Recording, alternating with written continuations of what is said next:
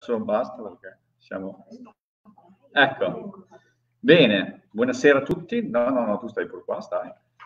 E sono molto contento di essere qua stasera. Aspettiamo, vediamo se, se dallo zero eh, si, si, muove, si sposta qualcosa dallo zero. Eh? Appena ce n'è uno, noi partiamo.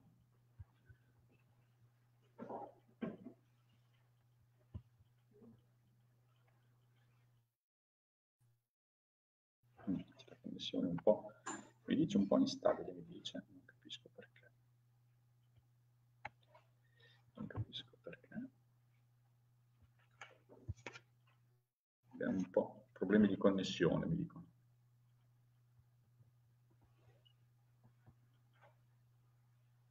Forse va un po' meglio, speriamo.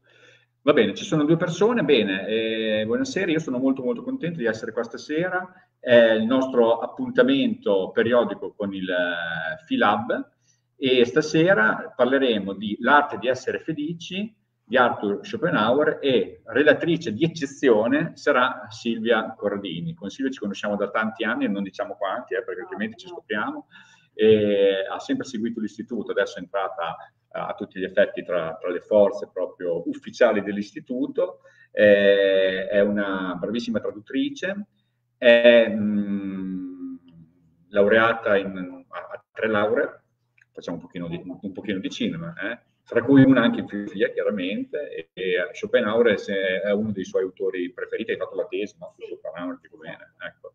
E noi abbiamo dedicato un pochino questi Filab a proprio delle letture testo, eh, ci, ci, piacerebbe in qualche modo far entrare eh, chi, chi, ci segue da casa, ma anche in presenza, perché stasera siamo anche in presenza, eh, su, su, sulla tematica filosofica e l'accesso alla, alla tematica filosofica ce l'hai attraverso i classici. Sicuramente Schopenhauer è un classico, è un autore molto molto particolare, molto interessante, non vi svelo niente perché ci sarà Silvia che ne parlerà diffusamente, io vi, eh, vi, vi, ricordo solo che un pochino questo ciclo di letture testo si chiuderà virtualmente con un incontro, a tutti gli effetti un incontro, il 27 aprile, quindi fra due mercoledì, in cui ripeteremo il, quello che noi abbiamo chiamato un ring filosofico. Ecco, ci confronteremo io, eh, Enrico Cerigone, Federico Perelda, impersonando, fra virgolette, tre autori, San Tommaso io, eh,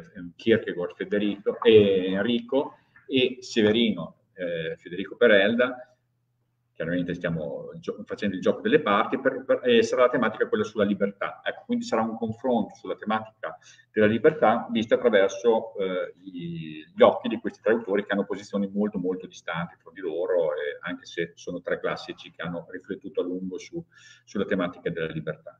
Ecco, io vi ricordo anche che un evento molto importante a cui noi teniamo molto eh, eh, si svolgerà alla fine di maggio, il 28 e 29 maggio. Noi abbiamo organizzato un ritiro filosofico che si svolgerà all'abbazia della Marola, nel Reggiano. Sono due giornate, eh, dal sabato mattina alla domenica. Eh, ci saranno degli interventi, ce ne sarà uno mio su Tolkien e Anselmo d'Aosta, ce ne sarà uno di Carlo Marchi sulla, sulla tematica dell'enneagramma, che si è appena concluso proprio il corso pochi, pochi giorni fa, molto molto ben riuscito, e un altro di Giuseppe Barzaghi alla domenica mattina, e tutti e tre dedicati alla tematica della felicità. Ecco.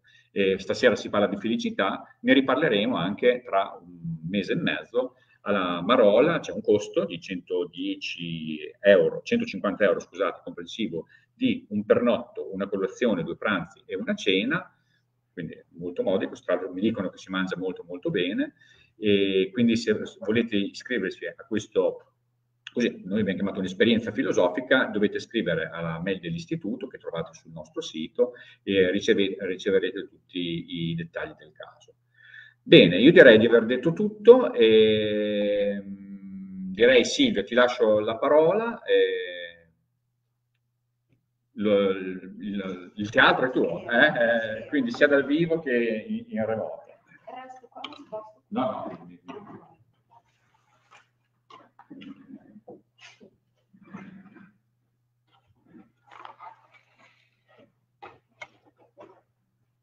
tutte le mie cose. Allora, buonasera a tutti, io sono molto contenta di essere qui in presenza, devo dire, ringrazio innanzitutto le persone che si sono scomodate da casa per venire qui e ringrazio anche naturalmente il pubblico a casa. E comunque insomma togliere un po' di tempo alle proprie, alle proprie attività serali per dedicarlo alla filosofia credo che sia sempre eh, meritevole. Ecco. Spero di essere, che questa ora insomma, scorra nella maniera più gradevole possibile perché parliamo di Schopenhauer, ecco, quindi anche il personaggio, come dire, è impegnativo. E, anche se il titolo dell'opera che eh, affronteremo questa sera, eh, che è questa, L'arte di essere felici, ecco, connessa alla um, figura di Schopenhauer sembra quasi un ossimoro, no? Quindi noi, Claudio ha detto non vi svelo niente, ma sono certa che tutti voi conosciate già, insomma, eh, un po' Schopenhauer, eh, forse avete letto la sua opera fondamentale o qualche altro testo, e comunque tutti lo considerano il pessimista eh, per eccellenza, no? insieme a Leopardi si dice che si assomigliano un po', e, ehm, quindi eh, chiediamoci perché eh, Schopenhauer ha scritto un testo che si chiama L'arte di essere felici. In realtà devo fare una premessa che ehm, questo testo così come è stato confezionato, diciamo, non è opera sua, nel senso che eh, lui aveva questo progetto di scrivere una eudemologia, come eh, aveva pensato, ma ehm, non è riuscito a completarlo e quindi questi sono degli, dei frammenti, degli appunti anche eh, lasciati così, manoscritti e raccolti da chi ha poi eh, appunto raccolto la sua eh, eredità. E, ehm, quindi ehm, la, sì, la genesi di questa, di questa opera è un po' particolare. Eh, sì, come sottotitolo c'è scritto esposta in 50 massime. Eh, in realtà eh, ci sono anche un po' di ripetizioni, diciamo, eh, delle, delle, integrazioni del curatore. Eh, comunque io ho fatto, diciamo, una curatela del curatore per eh, restringerlo un po', per sintetizzare il tutto. Comunque volevo ehm, innanzitutto dire che magari per un primo approccio di Schopenhauer eh, sarebbe opportuno eh, partire dalla sua opera fondamentale proprio, perché eh, è lì che eh, si esprime la sua Weltanschauung, come si dice, la sua visione del mondo, che adesso cercherò appena come introduzione di semplificare.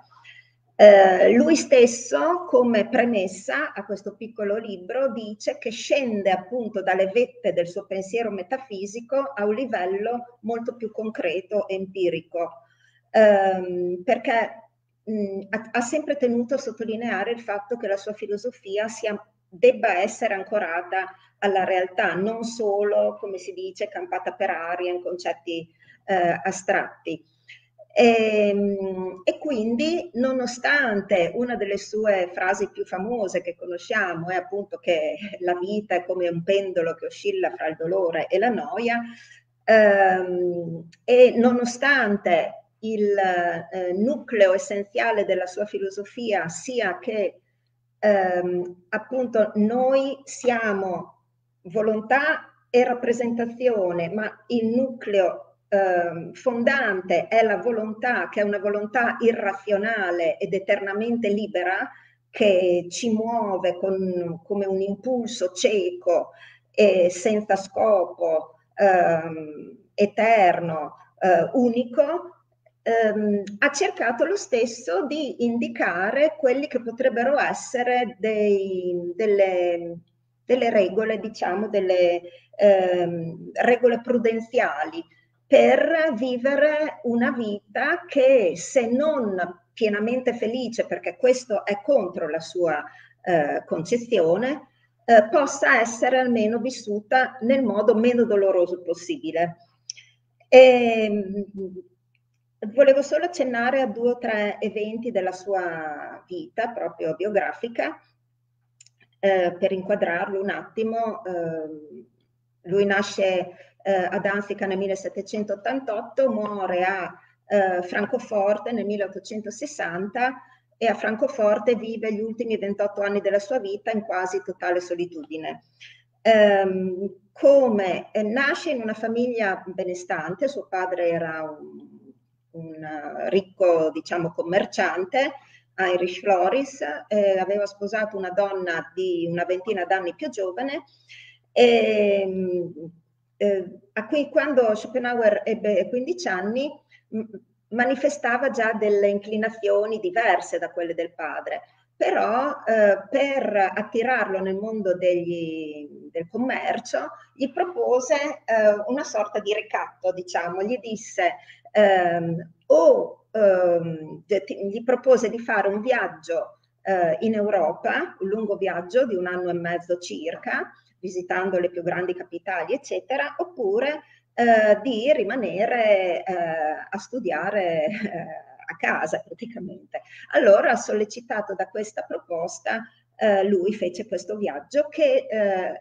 disse anche molti anni più tardi che eh, fu una delle esperienze più importanti della sua vita, nel senso che proprio per la prima volta eh, da adolescente, ancora diciamo ignaro della filosofia eh, varie, eh, dei vari pensieri, eh, sistemi di pensiero, ebbe una visione diretta eh, di quello che era la realtà. Quindi sicuramente visitò anche ehm, musei, pinacoteche, le bellezze che tanto contribuirono anche alla sua concezione eh, dell'arte come liberazione temporanea dal dolore. Eh, ma ebbe anche la possibilità di vedere ehm, eh, del, la miseria, la, eh, la sofferenza, eh, assistette a delle esecuzioni in alcune piazze di Londra, eh, di condannati a morte, eh, visitò degli ospedali psichiatrici, eh, vide all'arsenale di Tolone delle navi cariche di condannati a vita e insomma altre, altre, situazioni che racconta nei diari di viaggio eh, che eh, gli fecero proprio, dice, l'impressione un po' che fecero a Buddha quando per la prima volta uscì dal palazzo eh, e si accorse della malattia, della vecchiaia e della morte. Ehm, e, ecco, a proposito di Buddha, devo dire che un altro eh, episodio, in, incontro molto importante è stato proprio quello con eh, la la saggezza orientale, diciamo. Ehm, allora, innanzitutto, quando tornò da questo viaggio, poco dopo il padre morì e, eh, e quindi questo creò una grossa crisi eh, in, in, Schopenhauer che eh, peraltro non andava molto d'accordo con la madre.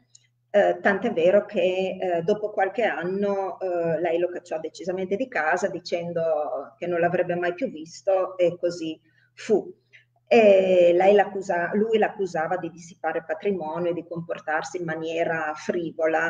Um, e um, comunque, ecco, la morte del padre fu um, un dolore, ma anche una liberazione, perché finalmente eh, lui, dopo qualche mese, riuscì a iscriversi a filosofia e a dedicare finalmente la vita a eh, quello che, eh, che voleva, cioè cercare di scoprire eh, le, le, ragioni del male e mh, cercare di eh, dare una, una, un, un'indicazione su come poter eh, trovare delle vie di salvezza.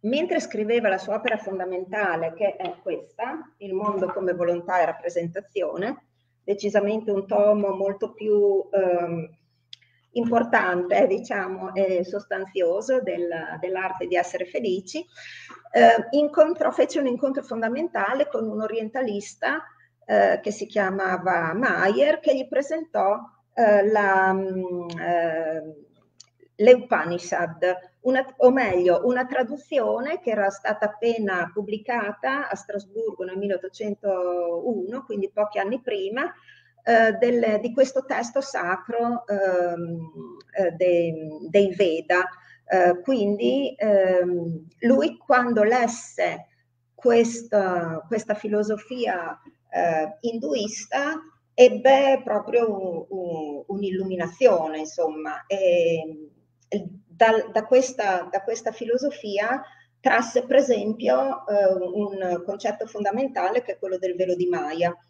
Eh, il velo di Maya, che in sanscrito praticamente vuol dire il velo dell'illusione, che eh, sarebbe come il, l'illusione appunto che eh, ci impedisce di vedere qual è la vera realtà, secondo eh, le, ehm, le, Upanishad, cioè che ehm, non esiste, adesso chiaramente semplifico, però che esiste un'unica, um, uh, un'unica essenza che uh, permea tutti gli esseri e quindi uh, non, um, non, c'è più una differenza fra, um, fra i singoli individui. Un'espressione tipica di questo, una pagina che troviamo nelle Upanishad che spiega molto bene questo concetto attraverso l'espressione eh, Tat Vam Asi, che vorrebbe dire tu sei quello, racconta appunto di un uh, maestro che mostra ai suoi discepoli una serie di esseri eh, animati e inanimati che scorrono davanti a lui e ehm, a, a, ognuno che passa, quindi animale, pianta, essere umano, ma anche pietra, eccetera, dice tu sei quello. Quindi c'è un'unica, ehm, eh, un'unica, un unico afflato, un unico principio che ehm, unisce tutti, tutti, tutti, gli uomini praticamente ed è questo velo di Maya che ci impedisce invece di vederlo. Infatti gli, gli induisti dovrebbero riuscire appunto a eh, strappare, stralciare, sollevare questo velo di Maya e capire che ehm, il proprio io individuale, Atma, si fonde con l'io Brahman cosmico. Chiusa la parentesi dell'induismo, però è molto importante perché eh, anche nella concezione di Schopenhauer ehm, esiste come nucleo centrale appunto questa volontà che ehm, eh, definita proprio come impulso eh, cieco, irrazionale, ecco, questo, questo, aspetto è molto importante anche perché eh, l'irrazionale ehm, entra di prepotenza Ehm, nella filosofia, dopo che da sempre, possiamo dire, da Anassagora eh, quasi per quasi tutta la storia della filosofia si era sempre cercato un principio razionale. Invece Schopenhauer ehm, sosterrà che ciò che ha il primato è questa volontà che ha questo carattere eh, primato anche sulla coscienza e sulla conoscenza è la volontà che ha un carattere totalmente irrazionale ed è la stessa che eh, appunto permea tutti gli esseri. Eh, ci, sono, ci, sono, delle pagine bellissime che però, eh, vabbè, leggiamo eventualmente dopo perché mh, mm, volevo tornare poi su questo librino. Questo solo per come piccola introduzione. Ehm, Ancora volevo dire che ehm, queste regole di saggezza, diciamo che lui ehm, me, lascia sparse come frammenti, ma aveva in mente di eh, raccogliere in questo volume dell'eudemologia, eh, se, servivano anche un po' a se stesso per affrontare alcuni, a, alcuni dolori della vita, oltre a quelli già elencati, possiamo dire che non, ha, non, era stato fortunato con la pubblicazione del suo, della sua opera, in cui credeva tantissimo. Nel 1818 viene pubblicato Il mondo come volontà e rappresentazione, però eh, pressoché invenduto, viene molta, molta, co, molte copie vennero gettate al macero e a sua sorpresa e delusione non se l'aspettava assolutamente, tant'è vero che se ne andò a fare un viaggio in Italia da cui poi rientrò, eh, gli dissero che la banca dove avevano eh, lasciato insomma la maggior parte dei loro beni, la famiglia Schopenhauer era fallita, quindi ebbe anche dei problemi a recuperare parte delle sue eh, ricchezze lasciate dal padre, eh, decise di ehm, insegnare, quindi eh, chiese all'Università di Berlino la libera docenza, ehm, ebbe la be bellissima idea, lo fece apposta, di chiedere eh, di avere le, le, ore di lezione in contemporanea a quelle di Hegel, che come sappiamo aveva un sistema di pensiero totalmente opposto al suo, basta ricordare la famosa frase di Hegel che tutto è razionale, quindi eh, era un approccio decisamente ottimista rispetto al pessimismo schopenhaueriano e anche qui eh, ebbe un esito eh, infausto perché in un momento in cui gli studenti pagavano le lezioni, insomma, praticamente dovette rinunciare dopo poco per mancanza di studenti. Quindi ehm, le, vediamo adesso eh, come, ehm, come, sono strutturate queste, questa, andiamo nel merito diciamo di questo librino e ehm, io eh, comincerei, raccoglierei appunto alcune delle massime che hanno uno stesso, diciamo, fil rouge. Eh, inizierei proprio da quella che lui dice che secondo lui deve essere messa all'inizio, eh, anche se il curatore l'ha messa al numero 49, però eh, lui dice dovrebbe essere la prima dell'eudemologia. Ecco, questo per sgombrare un po' il campo a, alla parola essere felici, alla parola felicità, che associata a Schopenhauer può mh, creare diciamo, una certa perplessità, lui dice la definizione esistenza felice potrebbe forse essere questa, quella di un'esistenza che eh, con una riflessione fredda eh, dovrebbe preferirsi alla non esistenza. Quindi noi dovremmo essere attaccati alla vita per quello che rappresenta in sé e non solo per la paura della morte. E in un certo senso, se è così, dovremmo anche volerla, eh, vederla durare all'infinito. Ecco, lui dice subito, come è noto, alla domanda se la vita umana corrisponde a questo concetto di esistenza, quindi felice, la mia filosofia dà una risposta negativa.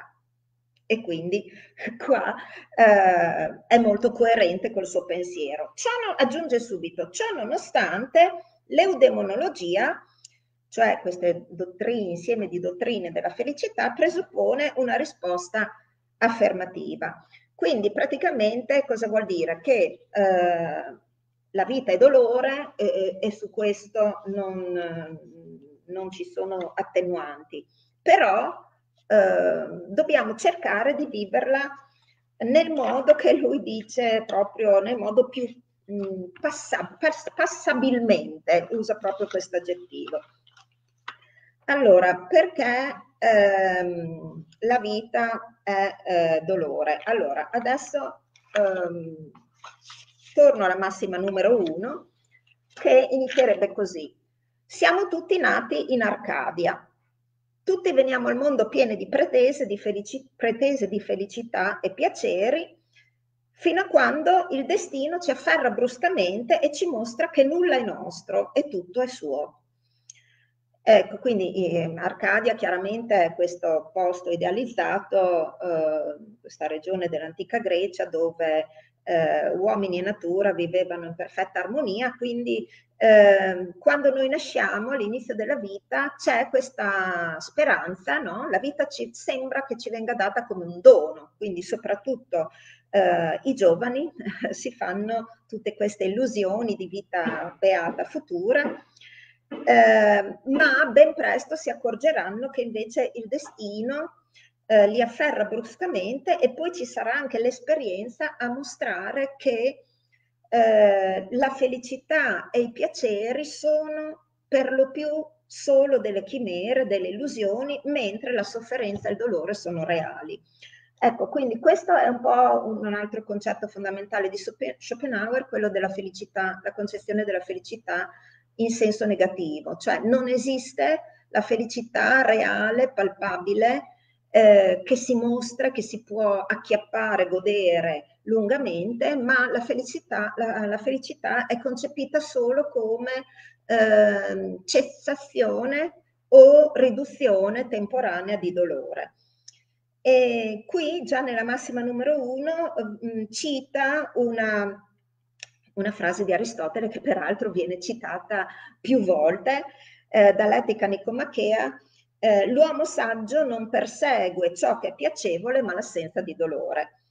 Quindi il primo mh, diciamo, suggerimento potrebbe essere proprio questo, non andiamo alla ricerca di troppe felicità ma cerchiamo, come dire, di... Ehm, conservare quello che abbiamo e eh, evitare eh, il dolore. E, ehm, questa eh, massima è legata anche a,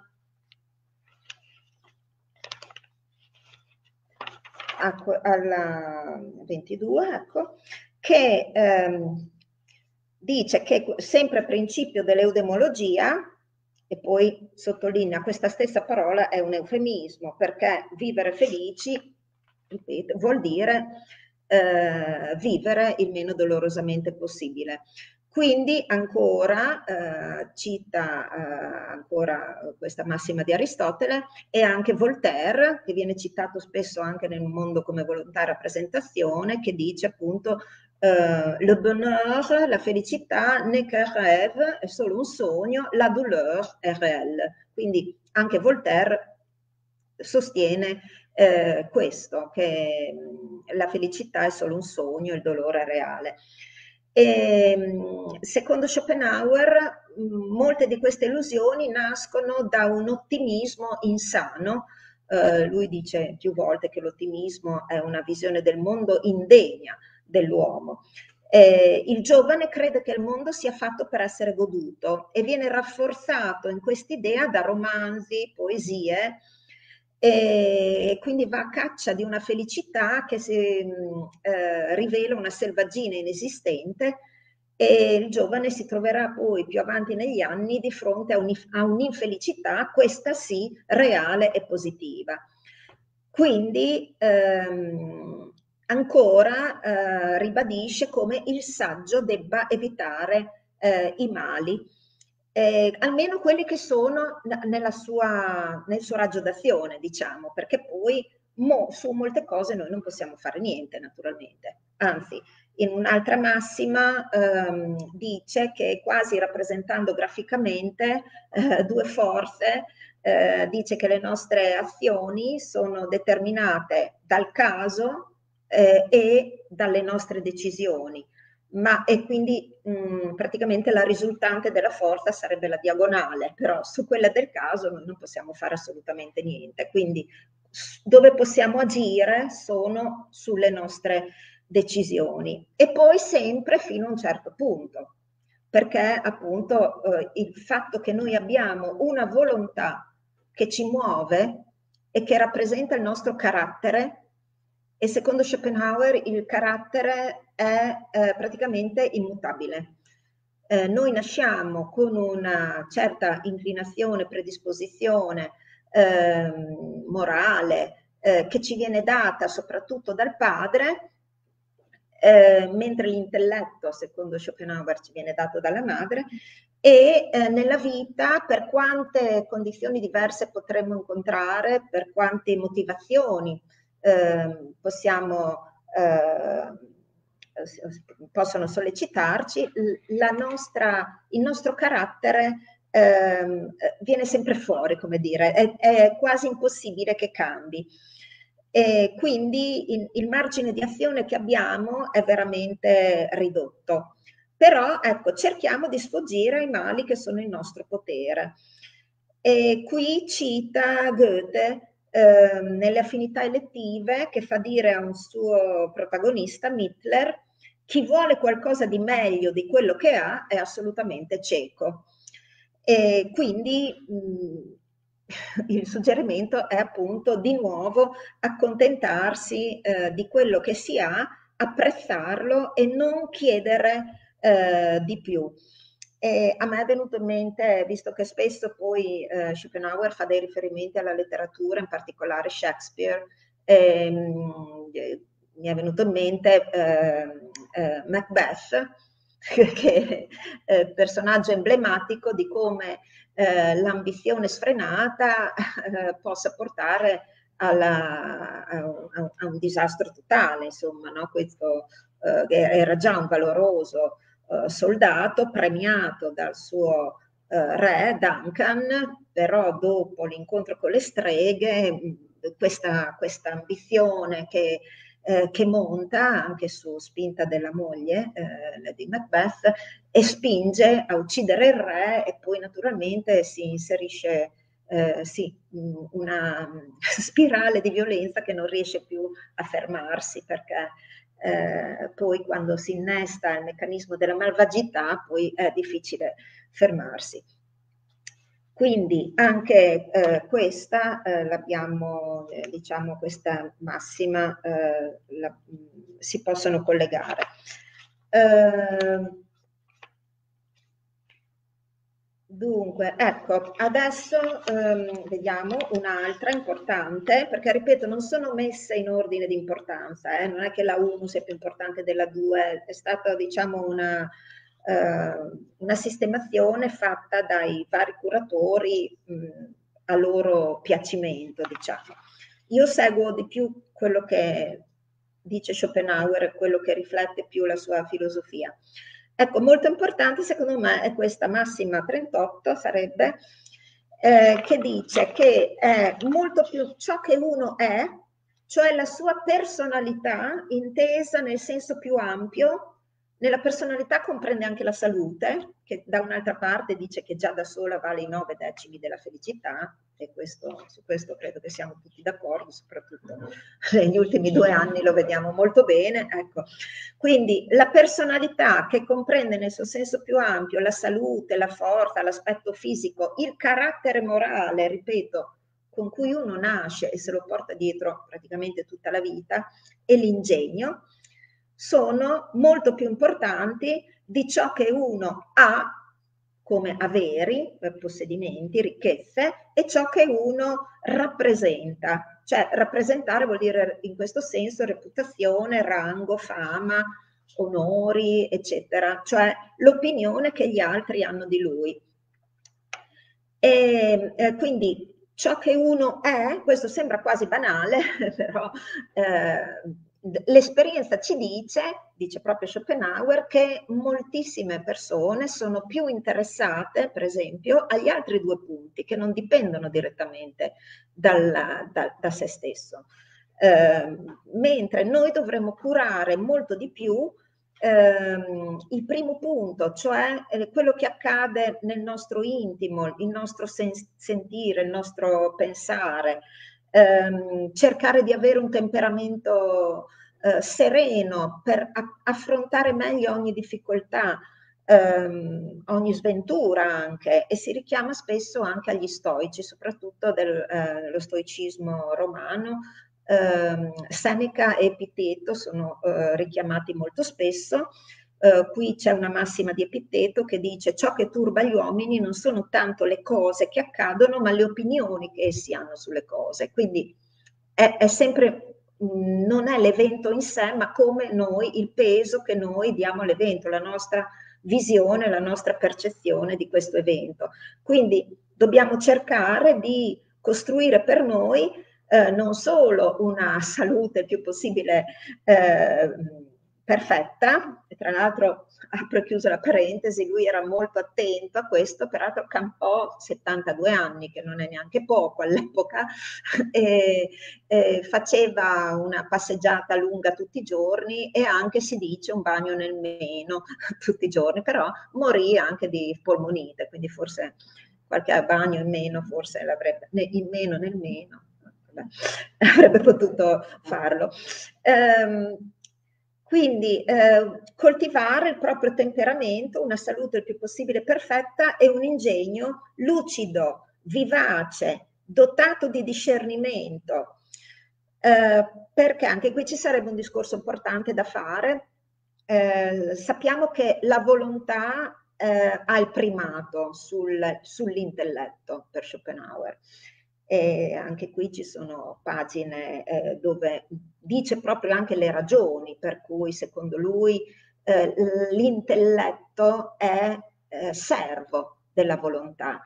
Eh, però ehm, l'intelletto sarà anche quello che solo in alcune persone elette, eh, privilegiate, ehm, che sono poi quasi, quasi solo dei i mistici, i santi, gli asceti, ecco, l'intelletto potrà operare una sorta di eh, conversione, la chiama, eh, trasformazione radicale e riuscirà a elevarsi al punto tale da riuscire a squarciare finalmente questo velo di Maya e a far capire anche al, alla, al, al singolo che ehm, bisogna assolutamente mh, abbattere l'egoismo intanto, perché non ha senso l'egoismo che è eh, uno dei mali capitali dell'uomo e in questo si rifà a Hobbes, cioè lo stesso pensiero, homo homini lupus, ehm, però ecco, il, il, eh, lui arriva a dire che addirittura il tormentato e il tormentatore dovrebbero riuscire entrambi a sollevare questo velo e a capire che è un'unica essenza quella che eh, muove entrambi.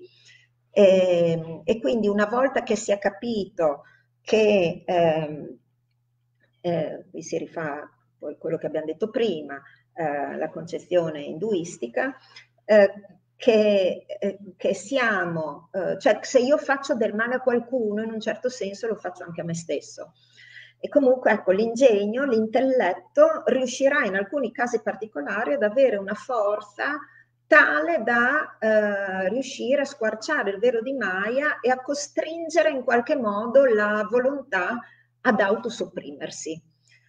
E comunque, ecco, qui senza arrivare a, a questa, all'ascesi già, eh, è importante insomma avere un ingegno vispo anche solo per riuscire a evitare l'altro polo, diciamo, oltre al dolore, la noia. No? Eh, quindi eh, uno che ha abbastanza ingegno, ingegno, riesce sempre a cercare delle attività, a tenersi impegnato, diciamo, in modo da fuggire all'altro, ehm, all'altro polo di sofferenza che è dato dalla noia. E, ehm, quindi ehm, l'ingegno può anche, l'intelletto, l'ingegno può anche aiutarci a tenere appena, cercare di tenere un po' sotto controllo la volontà, anche se sappiamo che eh, essendo proprio eh, eternamente libera eh, si fa molta molta fatica, però insomma, come dire, ci si può pro- provare.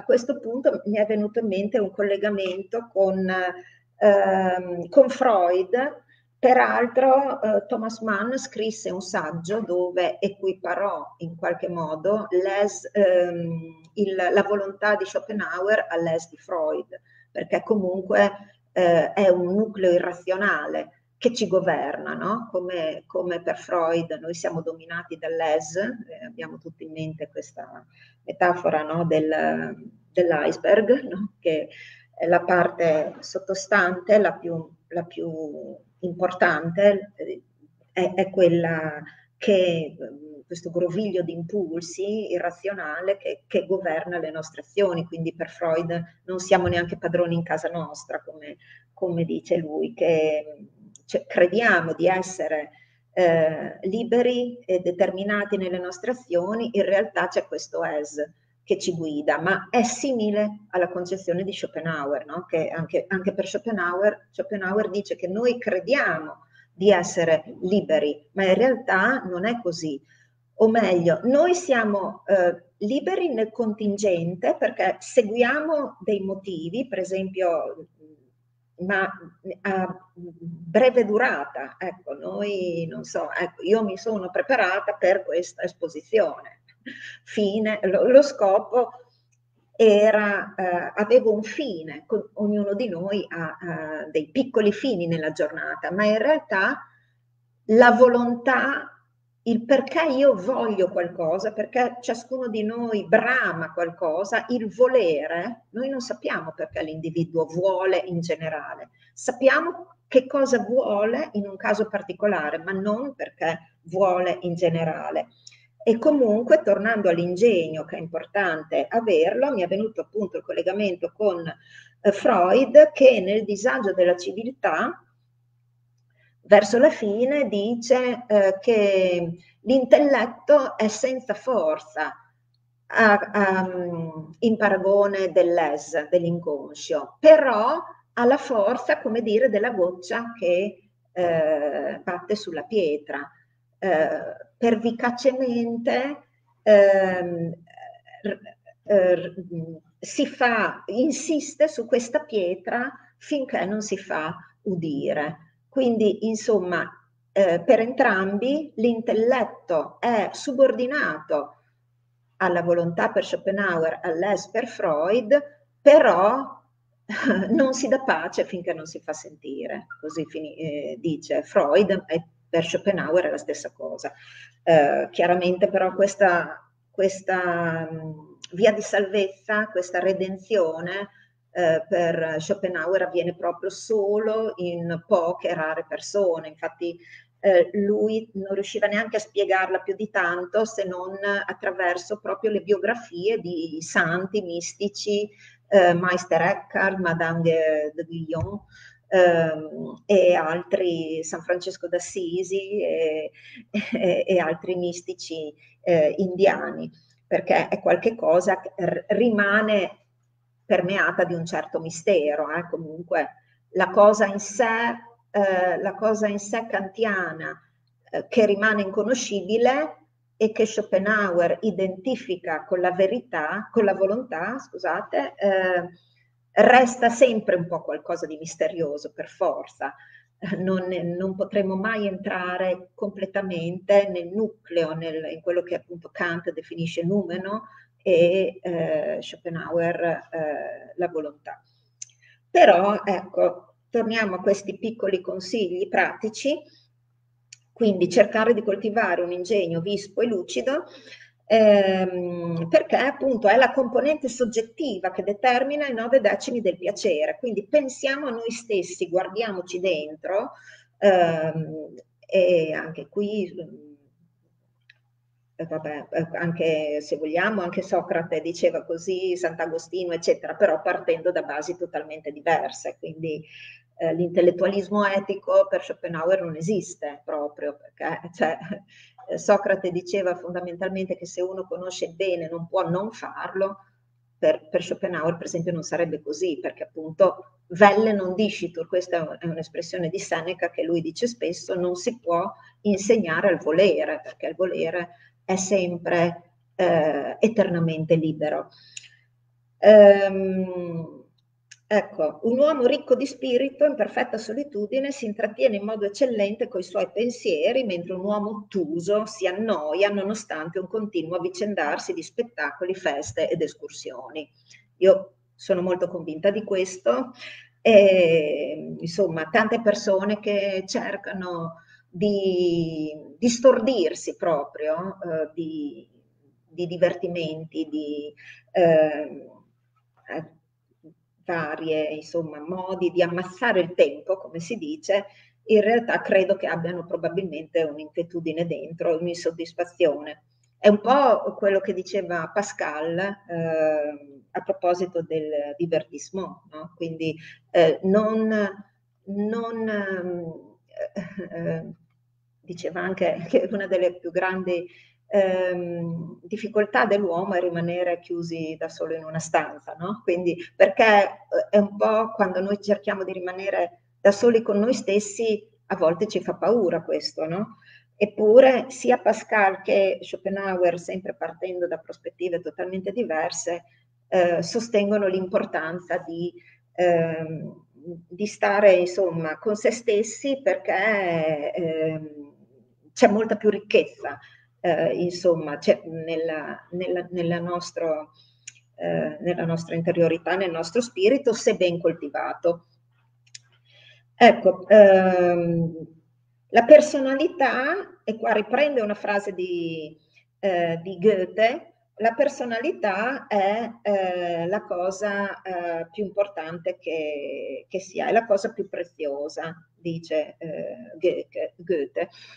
Eh, peraltro lui si conobbero i due, eh, perché la madre, dopo la morte del padre, prese l'abitudine di fare dei ritrovi pomeridiani, dei tè due volte alla settimana, dove chiamava i più begli spiriti dell'epoca, tra cui eh, Goethe ehm, che, che, notò subito il cervello molto eh, insomma, acuto del ragazzo Arthur e i due scrissero anche un, un libro sul, sulla vista e i colori. E poi eh, Schopenhauer mandò una copia del Mondo come volontà rappresentazione a Goethe, però lui non è che disse cioè si aspettava anche lì dei, dei complimenti, invece era più l'ammirazione che forse Schopenhauer aveva per Goethe che forse non il contrario. Eh, ecco, molte persone invece sono più interessate a ciò che gli altri pensano.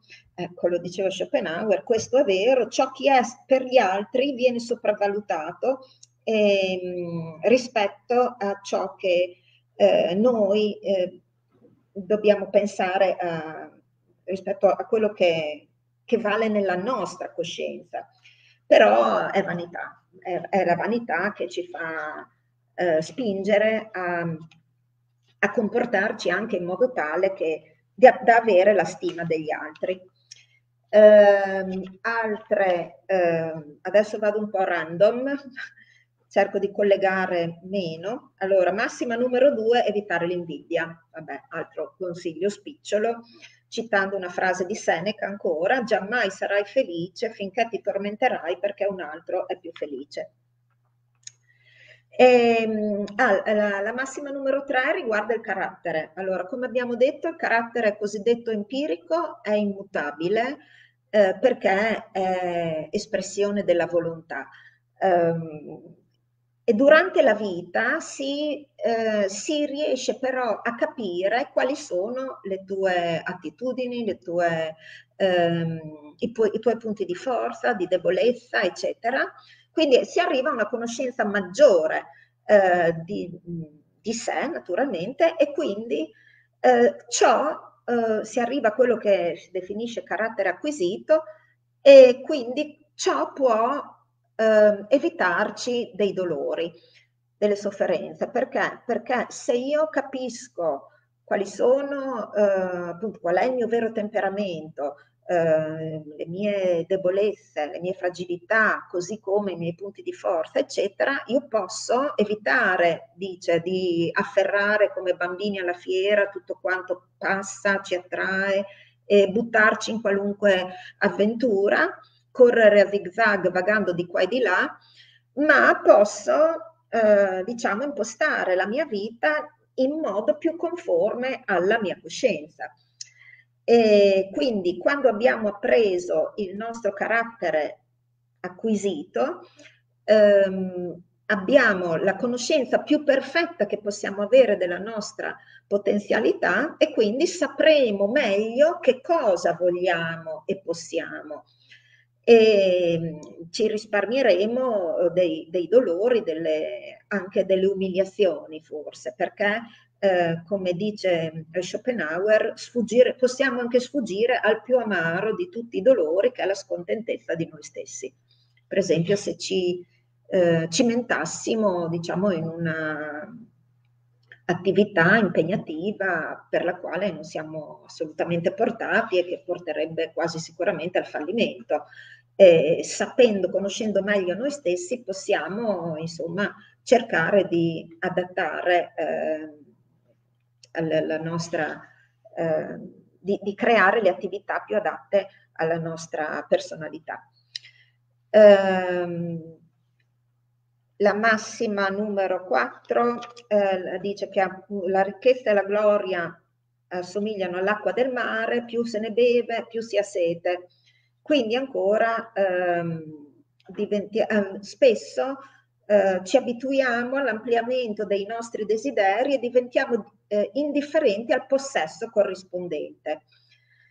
Cioè praticamente diamo per scontato quello che abbiamo e, cercando sempre qualcosa di nuovo, aumentando le pretese.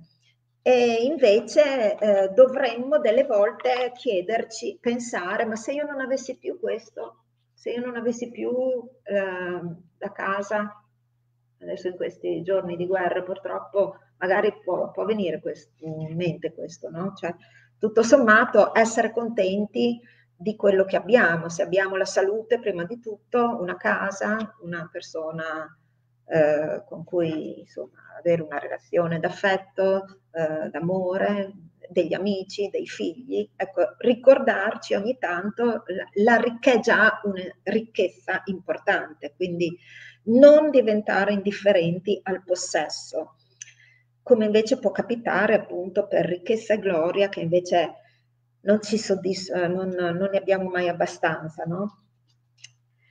Um, altra cosa dove spesso sbagliamo è incolpare una causa esterna del nostro dolore.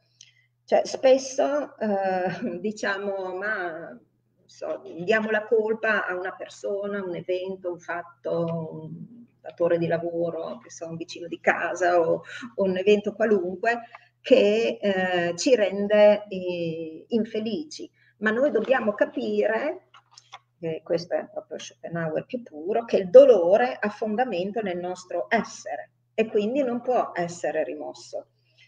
Se non avessimo quella determinata causa esterna di sofferenza, il dolore sarebbe dis- distribuito come in altri 100 punti, eh, che apparirebbero sotto forma di 100 piccoli fastidi. E quindi eh, non, non, ne usciamo, insomma, eh, quando una grande preoccupazione ci viene alla fine elevata, subito al suo posto ne sopraggiunge un'altra, la cui materia esisteva già tutta prima, solo che non aveva lo spazio per manifestarsi alla coscienza. Ripete, lo, lo, il dolore è essenziale alla vita, perché appunto eh, siamo volontà. Eh, il mondo come volontà e rappresentazione eh, eh, cosa vuol dire? Che anche noi stessi siamo sia rappresentazione, il nostro corpo, noi stessi, noi come individui, come fenomeno, direbbe Kant, eh, siamo eh, oggetto tra oggetti e quindi eh, rappresentazione eh, individuabile secondo le coordinate spazio, tempo, casualità, eh, causalità ehm, quelle che lui definisce principium individuationis, che individuano tutte le cose nello spazio e nel tempo, però eh, noi esseri umani abbiamo una via privilegiata per capire che siamo anche volontà e noi riusciamo attraverso il corpo, perché il corpo è, eh, dice Schopenhauer, volontà oggettivata. Eh, ogni azione eh, della volontà si riflette nel corpo. E quindi no, grazie, grazie. Um, finché siamo vivi è inerente a, alla nostra eh, natura di uomo anche la sofferenza. E questo um, si può com, come il dolore eh, sia um, qualcosa di essenziale eh, alla natura umana, ma non solo, ripetiamo, a tutti eh, gli aspetti della natura, anche quell'animale soprattutto. Eh, volevo cercare di leggere una frase mo molto, ecco, nel regno animale soprattutto si vede come appunto la volontà ehm, sia, eh,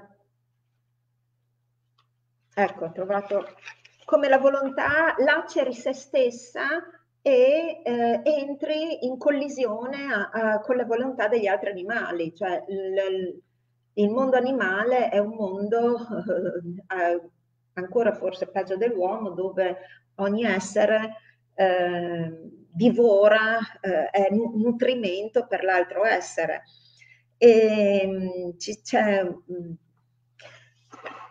un, un, brano che a me ha sempre colpito molto eh, di questo episodio, che è stato riportato da un, da un esploratore. Prima, come introduzione, dice: è, è tuttavia nella vita degli animali che si colgono facilmente la vanità e il nulla degli sforzi, eh, la varietà delle organizzazioni, la perfezione dei mezzi con cui ciascuna forma è adattata al proprio ambiente, alla propria preda, qui contrastano chiar- chiaramente con l'assenza di qualunque finalità. Cioè anche nei, ogni animale eh, persegue un, uno scopo ma senza conoscenza, eh, non sa perché, eh, per esempio il ragno non sa perché tesse la tela, non ha ancora rappresentazione della preda che andrà a cadere nella, nella tela, come il, ehm, il, l'uccello costruisce il nido, ancora non ha la rappresentazione delle uova che andranno uh, a, a deporsi lì. Ci sono altre immagini tipo la larva del formicaleone, mi ricordo, che costruisce uno spazio eh, più ampio di fianco a, a, a lei perché sa, non lo sa senza conoscenza, però eh, l'essere che nascerà avrà le corna, diciamo, e dovrà avere uno spazio maggiore.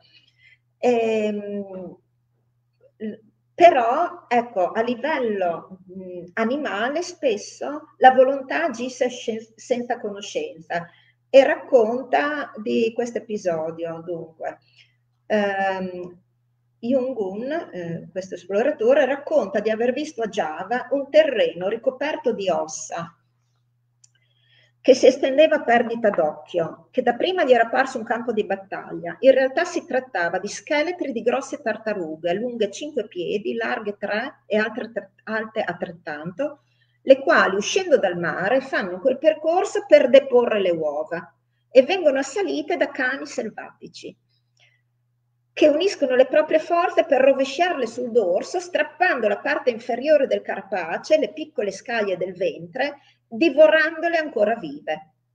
E poi spesso avviene che una tigre si lanci su questi cani che hanno a loro volta divorato queste tartarughe. Questa devastazione si ripete migliaia e migliaia di volte, anno dopo anno.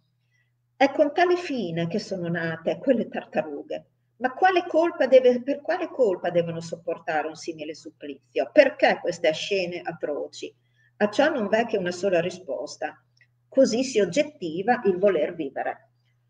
Quindi questo è proprio solo un esempio delle innumerevoli pagine in cui Schopenhauer mostra come eh, il dolore sia inerente alla vita perché è proprio una lacerazione della volontà ehm, a, a, all'interno di se stessa, che provoca se stessa. Quindi il dolore è essenziale alla vita. È inutile che noi diamo la colpa al destino, al fatto, eccetera.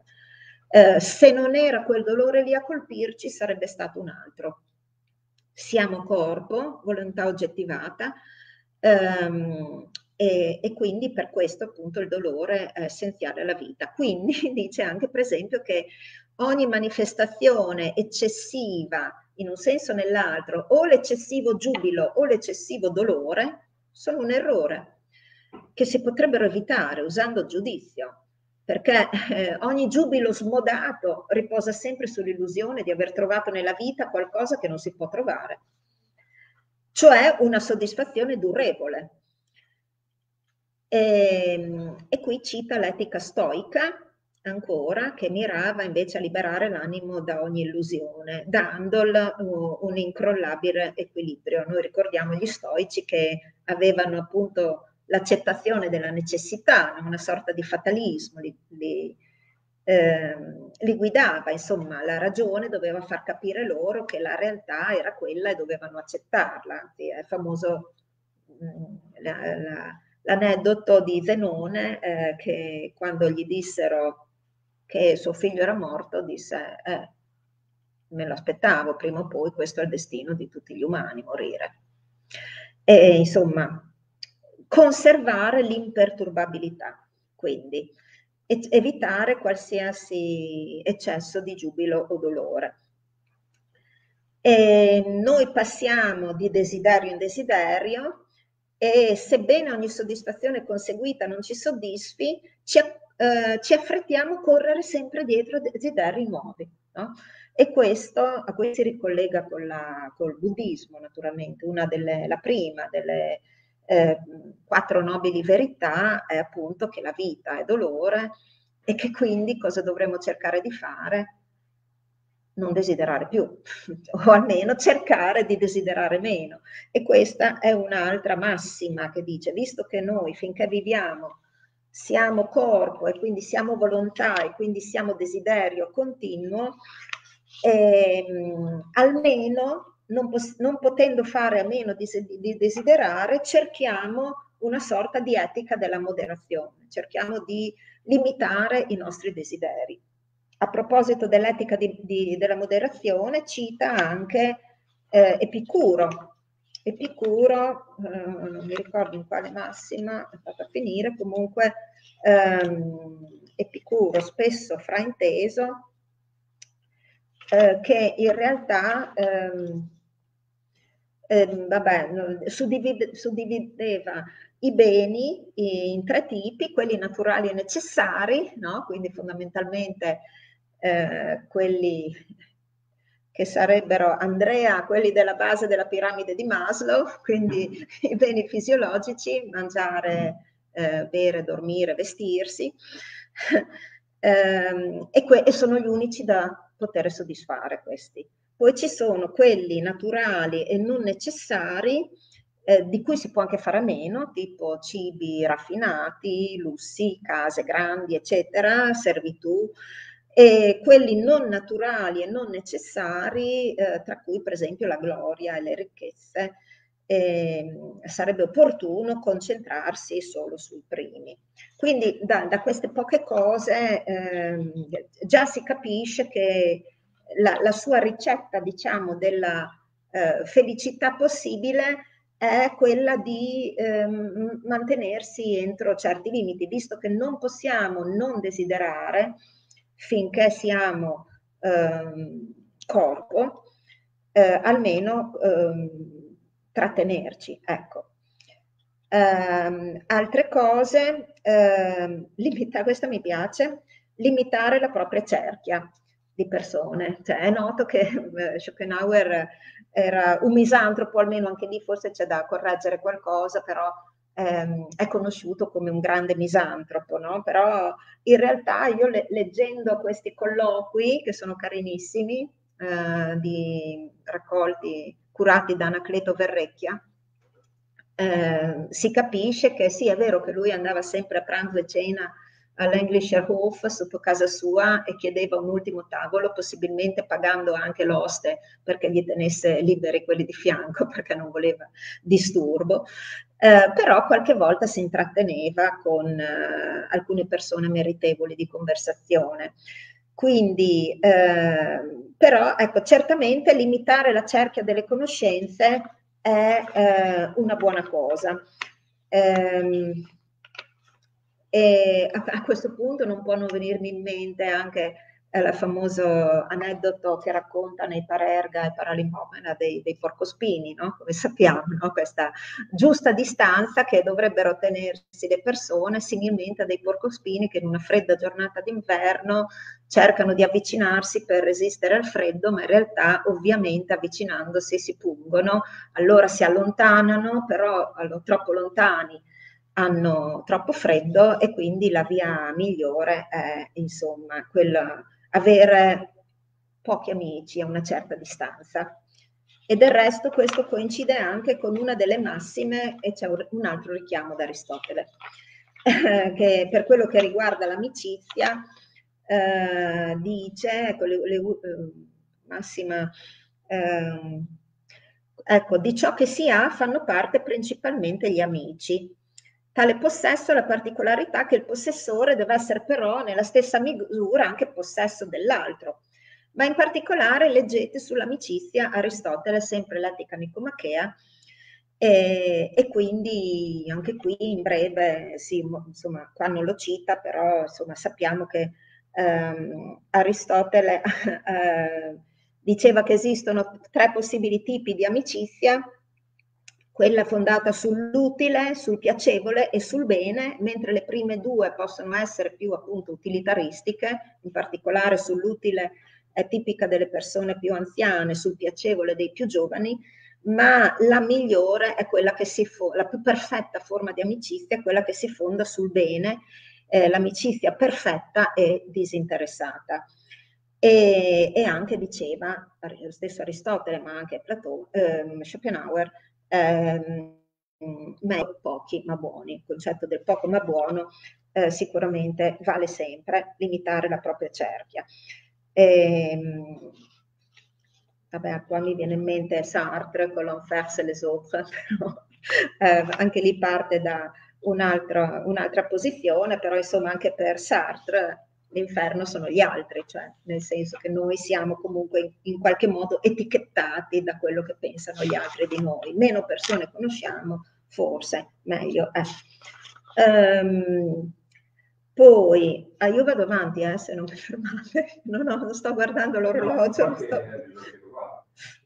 Non, vedo che sono le 9.10 se va bene, però insomma... Io... Ah, sono le 10.10? Allora non hai, non hai aggiornato con l'orario nuovo. Eh, comunque, io vado avanti, poi mi fermate fra un po'. Eh. No, perché mi, mi, sto scaldando adesso, come dire. Ah, cioè, dopo, dopo l'emozione iniziale. No, ma adesso, ma insomma, avrei volendo tantissime cose da dire, però guardo, guardo se fra le ultime massime rimaste eh, c'è qualcosa ancora di interessante. Sempre per gli amici, sempre meno, questi consigli molto pratici, adesso scendiamo proprio, proprio dalle vette dell'alta metafisica alla, quasi, eh, alla banalità quasi quotidiana. Eh, parlare meno possibile con gli altri e moltissimo con se stessi. Ricordatevi che nessuno terrà per sé quello che ha udito, questo ce lo dicevano anche le nostre nonne, ognuno ha un amico a, a, confidare, a cui confidare qualcosa, quindi ehm, dopo un po' il segreto diventerà di dominio pubblico. Peraltro anche Seneca nelle lettere a Lucilio diceva qualcosa del genere. E ehm, ancora... Ehm, cercare di, ehm, gran parte della saggezza si basa sulla giusta proporzione cui con cui dedichiamo la nostra attenzione in parte al presente e in parte al futuro. Eh, perché molti pensano troppo, sono troppo concentrati sul presente, diciamo, li, li, li chiama proprio gli sconsiderati, e altri, eh, gli apprensivi, troppo al futuro. Quindi dovremmo cercare una via di mezzo sapere sì che ci sono dei mali che sono, alcuni sono solo probabili, altri certi, per esempio la morte, no? ma eh, dobbiamo agire pensando che quelli probabili non arrivino adesso e eh, quelli probabili anzi non arrivino mai e quelli certi non arrivino certamente adesso, insomma, a breve. Mantenere la calma in tutte le avversità, l'abbiamo già detto. Eh, eh, ecco, anche questo è interessante, tenere a freno la fantasia. Tenere a freno la fantasia, eh, insiste due volte in tutte le cose che riguardano il nostro benessere e il nostro malessere, perché fantasticando su possibili casi fortuiti e le loro conseguenze costruiamo dei castelli in aria che poi sono destinati al desengagno, eh? Usa anche la parola spagnola. Ricordiamo che Schopenhauer era praticamente poliglotta, suo padre l'aveva inviato un paio d'anni al Havre, eh, dai 9 agli 11 anni, per imparare il francese presso un amico commerciante. E il francese era la lingua degli affari, allora eh, parlava il francese benissimo, anche l'inglese naturalmente e anche lo spagnolo. Tant'è vero, questa cosa che mi è venuta in mente mi permette di dire che lui rimase anche molto influenzato da eh, Baltasar Gracian, che era appunto uno spagnolo, aveva, un gesuita, che aveva scritto eh, l'oraculo, si chiamava, erano guarda caso 50 massime di etica.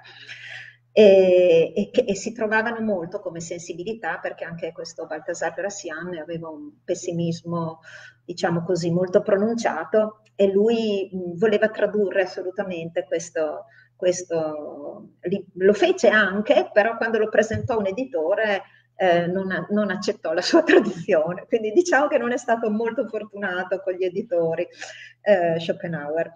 Eh, comunque, ecco, tenere a freno la fantasia perché possiamo mh, costruirci dei castelli in aria, però dopo subentra eh, il disinganno e cose anche peggiori può avere immaginare disgrazie, insomma. Quindi tenere a freno la fantasia sia in senso positivo che in senso negativo.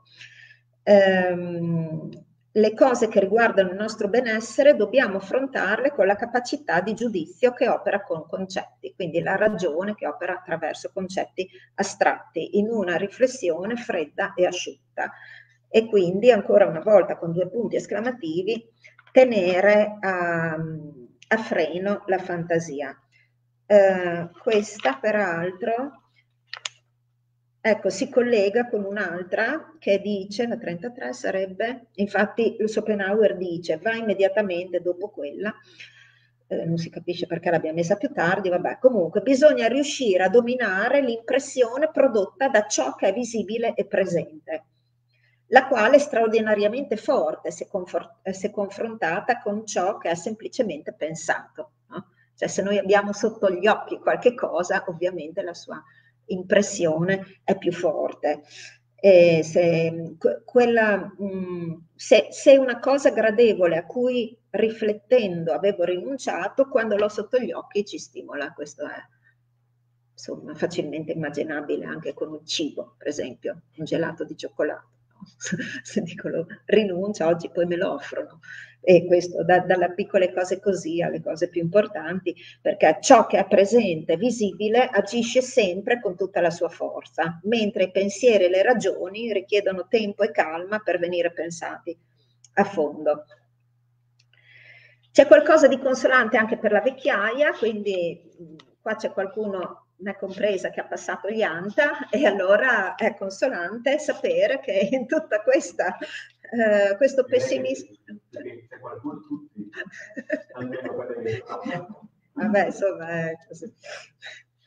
Um, in, tutta, in tutto questo pessimismo um, c'è anche qualche cosa di, di, bello nella vecchiaia in realtà perché um, eh, perché intanto abbiamo passato tutte le illusioni giovanili e ci siamo accorti che appunto non sempre eh, così la vita eh, dà quello che si, si, spera, che noi poi illusoriamente avevamo creduto che potesse renderci felice eh, si placano alcune pulsioni, ecco, vabbè, adesso siamo in un orario, come si dice, fascia protetta, possiamo anche dire che eh, la brama sessuale, ma non è un caso, per la verità Schopenhauer ha scritto una parte della, del suo libro che è proprio chiamato Metafisica dell'amore sessuale ed è molto importante. Eh, in, in, riassumendola in breve, secondo, secondo lui, eh, quello che importa alla natura, e qua non possiamo non pensare a Leopardi, è solo eh, alla natura, alla volontà, dirà eh, Schopenhauer, è solo la specie. Quindi il mantenimento della specie, alla volontà del singolo individuo non interessa niente. Per cui anche l'innamoramento, questo mi dispiace per chi sta vivendo adesso questa meravigliosa illusione, tra quelli che ci stanno scrivendo, vedo vedo che ci sono anche dei miei studenti adolescenti, quindi adesso saranno tutti tristi, um, che um, l'innamoramento non è altro che un inganno della volontà, fondamentalmente, perché è eh, la, la volontà dell'individuo che vuole nascere, che spinge due persone a desiderarsi reciprocamente. Perché fa così la volontà? Perché deve puntare sull'egoismo perché eh, credendo il singolo di soddisfare i propri eh, piaceri, insomma, anche sessuali, affettivi, eccetera, quindi credendo di operare per il proprio bene, in realtà opera per il bene eh, della, della, specie, quindi molto, molto freddo e secco, eh, tranchant, diciamo, questo ragionamento di Schopenhauer, che, che comunque riecheggia, stavo dicendo, eh, Leopardi in particolare sulla famosa operetta morale del, del, dialogo della natura e dell'islandese. Ci sono molte affinità tra Leopardi e Schopenhauer, in effetti. E, eh, eh, Schopenhauer fu invitato a leggere le operette morali da uno dei suoi discepoli eh, e, e ne lesse eh, alcune, lo iniziò a leggere, diciamo, Leopardi, poi morì, però disse, adesso non vado a cercare la pagina perché eh, per questioni di tempo, però disse che questo Leopardi proprio aveva una visione lucida della vita come, come la sua, insomma. E anche nel, nell'operetta morale della natura dell'islandese sappiamo appunto che c'è questo islandese che incontra questa statua enorme, la personificazione della natura che praticamente gli dice ma tu credi che a me interessi qualcosa di te? Eh, niente, lui raccontava tutte le peripezie che aveva dovuto passare, insomma. Quindi eh, la natura in Leopardi, la volontà in Schopenhauer eh, sono totalmente disinteressate al singolo, quello che importa è la specie. Comunque, tornando alla consolazione per noi che abbiamo passato gli anta, eh, la vecchiaia, eh, la vecchiaia, brutto dirlo così, no? diciamo la maturità, ehm, porta come eh, diciamo sollievo eh, intanto l'acquietamento della volontà, perché in qualche modo eh, c'è tutta questa brama che ci spinge a desiderare in continuazione, a volere, a volere, a volere, eh, si acquieta un pochino. Eh, e fortunato Uh, chi, a chi è rimasto l'amore per lo studio. Quindi noi siamo fortunati uh, per la musica e persino per il teatro. Ecco. quindi, insomma, il, sì, l'amore per lo studio, la musica e il teatro. Cercavo di collegarla con un'altra, però eh, vado avanti ancora un attimino. Ecco, ecco, sì, qua infatti c'è una massima successiva che dice che è importante per l'uomo svolgere sempre un'attività, dedicarsi a, ehm, cioè l'uomo deve avere qualche cosa da, di ostacolo come da superare sempre. Eh, la sua è, una, è, una, è l'uomo, diciamo, che possa definirsi tale, cioè che abbia la dignità di uomo, deve sempre sforzarsi, eh, la lotta dell'eterno sforzo eh, proprio. E in particolare eh, questo autore che mi piace citare, Hübscher, eh, che è stato, cioè, ha dedicato la sua vita totalmente a Schopenhauer, è stato presidente della Schopenhauer Gesellschaft, a Francoforte ed è stato eh, talmente eh, vicino in tutti i sensi, no, tutti, non fisico naturalmente, eh, a Schopenhauer che addirittura l'hanno sepolto vicino a lui, questa cosa mi ha fatto impazzire. E, ehm, eh, ha scritto questo libro, eh, Un filosofo controcorrente, anche un po' per eh, sfatare un attimino quello che è considerato ehm, il pessimismo ehm, diciamo rinunciatario, troppo rinunciatario eh, di Schopenhauer, l'accusa un po' che gli ha fatto Nietzsche, se vogliamo, nichilismo attivo, nichilismo passivo. Cioè sì, è vero che nell'etica di Schopenhauer il top si raggiunge con, quando la voluntas, la volontà riesce a rovesciarsi in noluntas, quando si arriva a non volere più. Però questo non vuol dire che eh, gli, gli appassionati, insomma, gli estimatori, diciamo, di Schopenhauer fossero delle persone eh, così, diciamo, fiacche, di animo debole, tutt'altro, eh, sono insomma degli spiriti molto, molto attivi eh, che non tra imprenditori, persone, insomma, eh, i primi, tra i primi sappiamo che c'era Wagner, eh, Thomas Mann, Horkheimer, eh, mi vengono in mente un po' così Kafka, eh, insomma comunque persone eh, che si sono date un obiettivo nella vita. Quindi sforzarsi e lottare contro ostacoli è il bisogno più essenziale della natura umana perché noi abbiamo bisogno proprio di riuscire a qualcosa, di, di to succeed, proprio di, eh, eh, di, avere successo nelle cose che, che facciamo. E quindi eh, scorro ancora velocemente. Ecco, altra cosa che dobbiamo considerare sono le trasformazioni che il tempo produce in noi stessi. Spesso a volte non consideriamo che eh, il tempo passa e magari eh, quello che eh, desideravamo anni fa, ecco adesso eh, una volta raggiuntolo magari non ci appaga più.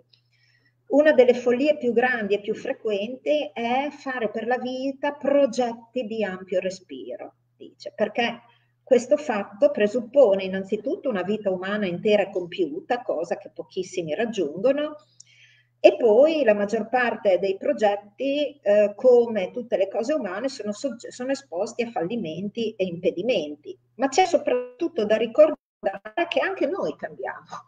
A volte questo non, cioè, non ci pensiamo, cioè, non solo cambiano le condizioni intorno a noi, ma cambiamo, cambiamo anche noi. E cose che ci hanno entusiasmato fino a pochi anni fa, magari, o per non dire pochi mesi fa, dopo poco, quasi a volte inspiegabilmente, non ci attraggono più. Eh, situazioni che avevamo desiderato, finalmente le riusciamo a ottenere ma non ci danno più quella soddisfazione che speravamo. Quindi o a volte le cose giungono troppo tardi per, per l'uomo, oppure l'uomo che giunge troppo tardi rispetto alle cose. E tutto è sempre per questa illusione, in virtù della quale la vita, vista all'inizio, quindi da giovani, sembra senza fine, mentre eh, guardandola eh, da un'età insomma più avanzata sembra troppo breve. Però questa cosa, questa illusione ha il suo lato positivo, che senza di essa difficilmente si realizzerebbe mai qualcosa di importante. Eh, chi è stato riccamente dotato dalla natura non ha bisogno di tante cose eh, dall'esterno. È fortunato se ha appunto salute e ozio, ozio naturalmente inteso in senso positivo, l'ozium diciamo latino, per poter godere della sua ricchezza interna. Qui ovviamente Schopenhauer ricorda, pensava a se stesso che ha avuto comunque la fortuna, diciamo, di non dover assolutamente lavorare per mantenersi, in quanto ha potuto eh, sfruttare l'eredità lasciata dal padre, per quanto eh, poi fosse successo quell'episodio di bancarotta che si sia ridotta, ma comunque, insomma, a parte qualche anno decisamente sfortunato di insegnamento all'università, eh, ha praticamente vissuto di rendita, come si dice. Però la, la cultura di cose interiori o la cultura di cose esteriori? Sì, cioè... cioè lui, sì, sì. sì, sì, cioè, ma infatti lui poi non, non distingue no? Lui dice che uno è stato dotato di cose interiori. Di cose interiori, sì, sì. Esteriori. Beh, anche interiori. No, sì, cioè. però se di solito. Ah, beh, sì, certo. No, beh, ma sicuramente, sicuramente, sicuramente. Ehm, quindi solo nell'interno, torniamo, solo nella propria coscienza, eh, esclusivamente nel proprio io risiede il nostro benessere e il nostro malessere. Ancora su questo insiste molto. Eh, ancora, e siamo ormai arrivati alle ultime massime, richiama ancora Aristotele. Eh, può essere curioso perché in realtà una delle frasi di Schopenhauer più famose è che lui a un certo punto disse che eh, credo che non, la mia filosofia non sarebbe mai nata se io non avessi conosciuto le Upanishad ehm, Platone e Kant, quindi lo chiama il divino Platone proprio, eppure in queste massime Platone non, non compare, ma come ho detto forse all'inizio, Platone riguarda più la sua concezione metafisica, no? il fatto di essere stato il primo, di aver diviso un mondo sensibile, percepibile con i, sensi e quindi eh, corruttibile e, e, il mondo sovrasensibile, come sappiamo tutti dall'allegoria della caverna. Ecco, in questo senso l'ha chiamato divino Platone, eh, mentre per le cose più pratiche si rivolge più eh, piacevolmente ad Aristotele. E ancora, questa la dobbiamo dire, eh, che per Aristotele la vita filosofica è la più felice, anche questo, eh, chiudiamo, direi quasi di chiudere con questa perché ci sta, ci sta, cioè sempre dall'etica nicomachea ehm, la vita, la perfetta felicità è l'attività contemplativa.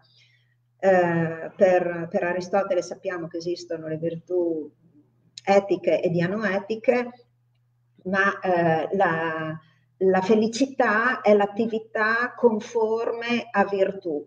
Ehm, quella, quella, la, la, la, virtù più alta eh, eh di anoetica è eh, la sapienza e eh, la sapienza che ci permette appunto di conoscere i principi primi delle cose, quindi la filosofia si ammette che la filosofia ha, dà e ha in sé piaceri meravigliosi. Quindi la, il sapiente, la felicità del sapiente dedico, dedito alla contemplazione disinteressata della verità. È un'esperienza autosufficiente e totalizzante e qui almeno cioè, noi ci crediamo molto, noi dell'istituto ci crediamo molto, noi eh, insomma siamo, siamo, felici così, eh, continuando a studiare peraltro, a fare ricerca, eh, perché appunto non, non si finisce mai anzi un, un arricchimento continuo. E quindi eh, direi che come, come massime eh, eh, ci, siamo, ci siamo, insomma, le abbiamo più o meno dette tutte, non seguendo... Se volete fare le domande qui in sala, oppure se ce ne sono due, purtroppo non lo vedo, non so se eh, qualcuno vuole fare domande, magari dillo anche su Facebook, se qualcuno vuole dire qualcosa. Ah no, io vedo, vedo dei saluti dei miei studenti che ringrazio di aver avuto la pazienza di ascoltarmi il primo giorno di vacanza. Avrete un più... Avrete un più... sì. non vedo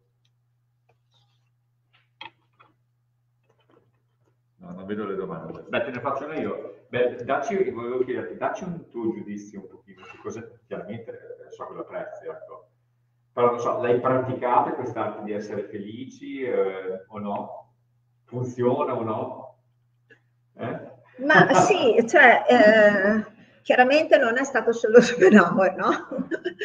Però diciamo che per me Schopenhauer è stato un incontro veramente felice, è il caso di dirlo, e casuale, perché ormai Claudio quasi potremmo scoprirci, quando ci siamo conosciuti io e te, possiamo dire circa una trentina, diciamo così, di anni fa, eh, un'amica, eh, che peraltro doveva venire stasera, mi regalò proprio questo libro, proprio questo libro, che come vedete è piuttosto consumato, l'ho letto tre o quattro volte per esigenze diverse e anche solo per, per puro piacere, una, è una, lettura che io consiglio perché cioè io l'ho letto che ero, non dico totalmente a digiuno di filosofia, ma quasi, provenendo da, eh, dal liceo scientifico dove insomma filosofia era stata fatta però come si dice all'acqua di rose e mi regalarono questo libro che io lessi sono credo 1500 pagine, le lessi in meno di un mese, cioè proprio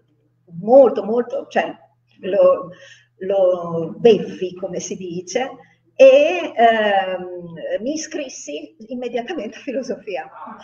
Quindi è stato, mi viene sempre, sì, sì, mi viene sempre in mente la frase che disse Nietzsche quando lesse comunque anche lui eh, Schopenhauer, che, cui dedicò un libro, no? Schopenhauer come educatore, poi ebbero qualche divergenza dopo, però ehm, fu come entrare in una stanza illuminata, cioè per me è stato bellissimo, un arricchimento grande. E poi, insomma, delle volte penso che avrei potuto leggerlo prima ancora, però eh, sono, sono molto, eh, molto contenta. Cioè io, e invece fondament- di essere felici? Eh, Io ti voglio chiedere se avevi praticato no, praticato no, io mi, mi ritrovo in, in, alcune massime, mi ritrovo, come ho detto anche scorrendole velocemente, sicuramente che è, è più importante ehm, cioè, l'arricchimento interiore, diciamo, cercare di sentirsi bene con se stessi, però anche qui c'entra molto le fasi della vita poi, perché onestamente anch'io, chi mi conosce, insomma, ehm, ho passato diversi anni che ero più dalla parte che potrei definire del divertissement, eh? cioè trascinata un po' nell'età giovanile, dalle compagnie, dalle, eh, dalla voglia di vivere, perché cioè, ci sono anche questioni proprio connesse all'età. Eh? Però diciamo che è già da una quindicina d'anni almeno che, che trovo la mia felicità piena eh, in, in, in, me stessa, nel senso che mi accorgo veramente che quello che dice sia Aristotele che Schopenhauer, cioè che quando uno coltiva eh, la propria formazione, ricerca, amici, non disdegno tutt'altro, però appunto pochi ma buoni, e, e che, insomma cercare di dare un senso insomma, alla, alla propria vita. Eh, eh, io sono ho trovato diciamo quello che credo che sia il mio equilibrio, poi non si può mai dire perché finché sono viva ho ancora una volontà pulsante, ma non credo che mi spinga più a cose eh, così eh, a scoperte, diver- desideri diversi, insomma. E Avete quindi... altro da chiedere? Diciamo qua. No, è stato interessantissimo tutta l'esposizione è stata dopo tanto tempo, per me è stata veramente una boccata d'aria, ne sentivo tanto la mancanza. Che bello, sono molto contenta.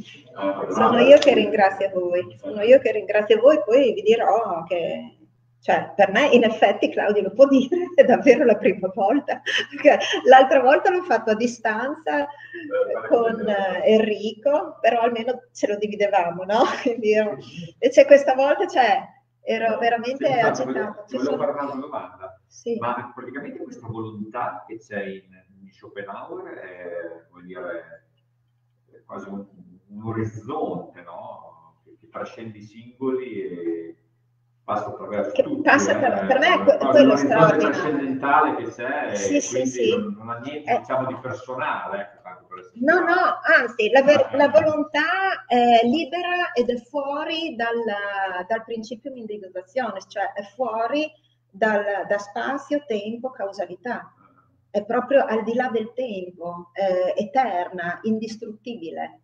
C'è anche qualche mistero, eh, eh, dietro a questo aspetto, nel senso che lui dice la volontà deve rovesciarsi in noluntas, in, eh, ma qualcuno, anzi uno dei suoi discepoli, proprio eh, gli disse, per esempio, ma come fa?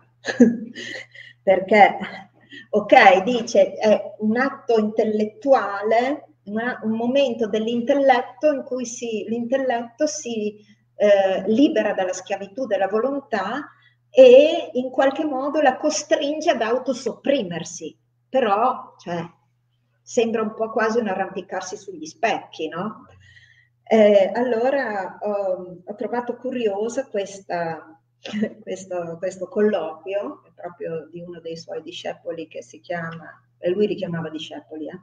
e poi aveva anche gli evangelisti che erano proprio più vicini. Questo uh, Julius Frauenstedt, che gli diceva, ma, ma l'intelletto, quando nell'uomo giunge all'apice della conoscenza, nel santo penetra l'essenza della vita, ma come? Come fa il servo, cioè l'intelletto?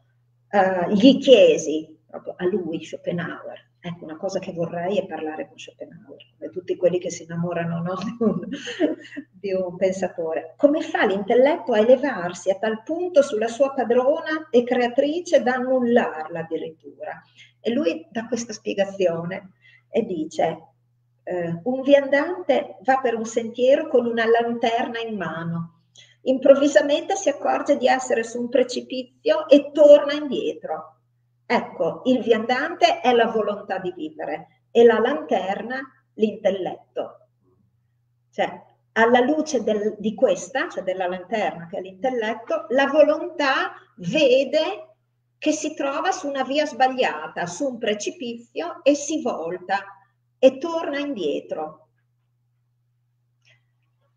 La spiega, è bello, anche a me è piaciuto molto. Poi aspetta, gli mette, infatti questo qua gli metteva proprio il dito, la pulce, insomma, gli dice, ma un'altra cosa, se tu di, lei, lei, dice che la volontà è una unica indivisa, cioè è la stessa volontà per dire che muove un, una pietra, che, che, fa sì che il cristallo abbia quella forma, che muove gli elettrodi, eh, che spinge l'ago calamitato verso il nord, ah, perché si trova anche nelle forze eh, meccaniche, magnetiche, nella forza di gravità, c'è secondo lui una volontà che naturalmente in tutti gli stadi agisce senza conoscenza anche nella pianta.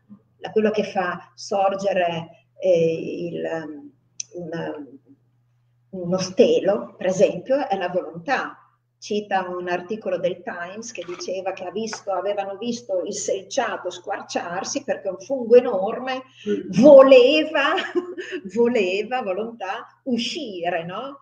Eh, il rampicante che si attorciglia intorno a un uh, palo, diciamo, eh, è la volontà, anche quella fino agli animali, fino all'uomo, dove è l'unico essere in cui agisce con conoscenza. Eh? Allora dice, se però è una unica e eh, un individuo, un singolo individuo, un santo, perché bisogna pensare ai santi, agli asceti, riesce ad annullarla. Se si annulla in uno, non dovrebbe avere conseguenza, gli chiesi, l'annullamento della volontà nell'intero mondo? Cioè, ci sta, tu che sei un logico, Claudio, no? La cancello in uno, è indivisa dappertutto, la cancello, sparisce. Se uno la cancello... Quindi un santo non dovrebbe essere in grado di redimere l'intero mondo? Schopenhauer qua mm, dice, lei non è il primo a farmi questa obiezione, no? Eh, mi fu già fatta nel 1819, ma a ciò io posso solo rispondere, mi stavo un po' innervosendo secondo me. No? In un fenomeno, ah, per fenomeno chiaramente, eh, lo dico perché è stanco adesso, eh, si intende l'individuo calato nelle coordinate spazio-temporali fondamentalmente. In un fenomeno la volontà riesce a rinnegare se stessa e in un'altra no. Come ciò accada non lo so, poiché non mi sono assunto poi di sciogliere tutti gli enigmi del mondo. Cioè, per me qua è fantastico, cioè, perché cioè, ha un'onestà intellettuale quest'uomo che è straordinaria. Eh? È per questo poi che criticava tanto Hegel, eh, Fichte, Schelling, eccetera, che li chiamava, insomma, eh, con tutti gli epiteti possibili, soprattutto Hegel, no? Imbrattacarte, eccetera, perché venduti eh, al potere, perché naturalmente la Germania di allora aveva più piacere eh, nel momento insomma, del, dell'esaltazione del progresso, gli sviluppi della tecnica, della meccanica, no? Eh, andava più volentieri a sentire eh, Hegel che parlava di progresso, di ottimismo, e di eh, Aufhebung, no? eh, la, la, sintesi, l'unione di, eh, di, tesi, antitesi in una sintesi superiore, eccetera, eccetera, che non uno che dicesse che la vita è pendolo che oscilla fra dolore e la noia. Però lui ha avuto successo, diciamo, più tardi, come spesso accade. Eh, nel 1851 quando furono pubblicati i Parerga e Paralepomeni, che contiene anche eh, gli aforismi per una vita saggia, che da qualche parte ce l'ho nella borsa, insomma, l'altro libro suo. Ecco, ebbe, ebbe un successo strepitoso. Perché... Ah, quindi già in libro? Sì, sì, fortunatamente sì, sì, nel 1851, quindi ebbe la, la fortuna negli ultimi 8-9 anni della sua vita di poter avere anche eh, gloria e onore meritati, direi. Mm. e infatti al suo funerale fu, ci fu ah, sì, tantissima gente, sì, sì, sì. Bene, è così, insomma. scritto da qualcun altro Beh, infatti, infatti, infatti, secondo me sì, è, è come si vede. Esatto, esatto, si vede che tutti i grandi magari hanno voglia ogni tanto di divertirsi un po', pensando di, di scrivere qualche cosa, di più che una... In effetti è quello poi che ha avuto successo, cioè evidentemente scrivere una metafisica così pesante eh, per un vasto pubblico non, non c'era il pubblico giusto però quando parli di eh, vita felice e eh, di, di, aforismi per una vita saggia che fanno parte appunto, eh, perché anche i, pa- i Parerghi e Paralipomeni sono due bei volumoni, e lì ci sono delle cose molto più leggibili a, da un pubblico più vasto, per cui ha avuto davvero un grande successo. Poi da lì molti hanno poi letto l'opera fondamentale, quella che lui chiama proprio l'opera fondamentale, e insomma ha avuto la sua fortuna anche lui. Non so. Bene, io vi ringrazio. L'arte di aver sempre ragione, c'è anche l'arte di insultare. Perché è un personaggio molto interessante perché poi pagando lui sapeva vivere bene. Sì, sì, sì. sì, sì, sì, sì, no, ma lui era uno che non si era fatto mancare niente, come si dice, era stato anche innamorato profondamente, insomma, a Venezia ha avuto eh, insomma, delle avventure eh, interessanti, insomma, con una Teresa Fuga si chiamava, un'altra nobildonna veneziana dove sembrava anche che dovesse approdare a un matrimonio e poi invece invece no, pare che lei gli avesse rivelato che ave- era malata, però insomma qui si entra così nella, nell'aneddotica. Va bene, io direi che possiamo chiudere adesso, verso le 11, guardavo se c'era qualche domanda, ma non ne vedo. Eh? Enrico dice interessantissimo. Facciamo un bel applauso a Silvia.